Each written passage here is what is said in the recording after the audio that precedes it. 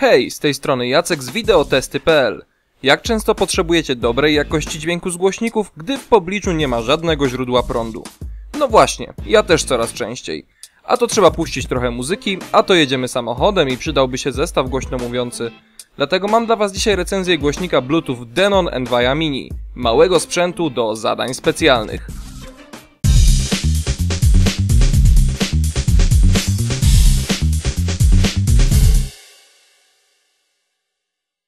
Envia Mini przychodzi do nas w takim zgrabnym opakowaniu. W środku znajduje się głośnik, welurowy pokrowiec do transportu, instrukcja obsługi i kabel do ładowania sprzętu. Brakuje niestety wtyczki, którą moglibyśmy podpiąć kabel ładowania bezpośrednio do prądu. Najwyraźniej producent założył, że w domu mamy takich napęczki. Zresztą słusznie. Nasz bezprzewodowy Denon wygląda tak. Dostępne są dwie wersje kolorystyczne, biała oraz czarna. Obydwie prezentują się równie stylowo i już na pierwszy rzut oka sprawiają wrażenie drogiego sprzętu. Również technikalia nie odstają od wrażeń wizualnych. Podwójne pełnozakresowe przetworniki umieszczone po obu stronach urządzenia, a także jeden głośnik pasywny zapewniający odpowiednio mocne basy. Całość dopełniona jest akumulatorem pozwalającym na nieprzerwaną 10-godzinną pracę. Z prawej strony znajdują się cztery przyciski. Regulacja głośności, przycisk power oraz przycisk pauzy, który pozwala zarządzać dźwiękiem bez potrzeby wyjmowania telefonu z kieszeni. Z lewej strony poza diodą informującą o stanie baterii znajdziemy pod klapką złącze ładowania oraz złącze AUX, które pozwoli nam podłączyć dowolne źródło, bez wykorzystania łączności bezprzewodowej. Konstrukcja waży sporo, co w połączeniu z wykorzystaniem bardzo solidnych materiałów i dobrego wykonania tworzy coś, co od biedy możemy użyć nawet jako element samoobrony. Na serio, Enviom można by kogoś ogłuszyć. I to nie tylko dzięki mocy głośnika.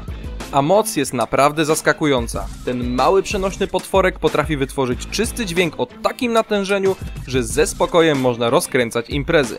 Zależnie od ustawienia NVI, pionowo lub poziomo, możemy uzyskać nieco więcej słyszalnych tonów średnich i wysokich lub basów.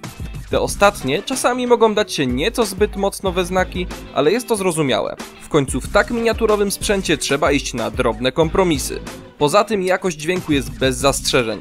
Nawet na ustawieniu maksymalnej głośności płynącej z głośnika nie usłyszymy trzeszczenia i przesteru, co bardzo się ceni. Dźwięk w ten czas nie brzmi tak kartonowo i nie jest przytłumiony, jak ma to miejsce w tańszych produktach konkurencji.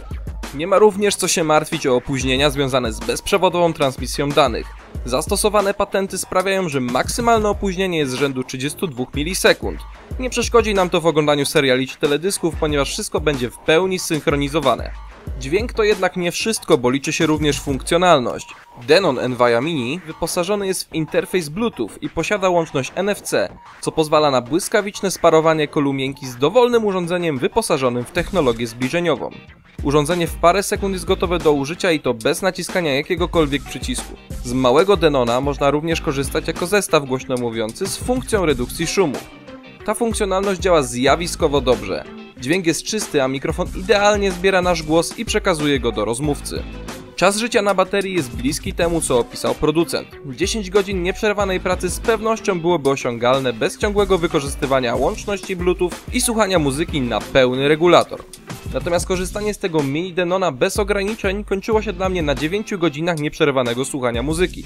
Ładowanie wynosi około 2 do 3 godzin i jak na taką wydajność i jakość jestem naprawdę pod wrażeniem.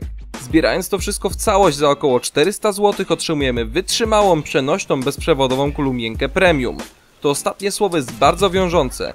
W tej cenie ze spokojem dostalibyśmy i dwa ciekawe głośniki przenośne, ale marka Denon powinna mówić sama za siebie. Jakość dźwięku, wykonania i wszelkich małych, stylowych i funkcjonalnych dodatków stoi tutaj na najwyższym poziomie. Nie jest to sprzęt dla każdego, ale jeżeli jesteś w stanie wysłupać z portfela 400 zł, to zdecydowanie nie zawiedziesz się, drogi czytelniku, na Denon Envia Mini, który jest zdecydowanie bardzo mocnym zawodnikiem w tym kompaktowo-dźwiękowym wyścigu zbrojeń.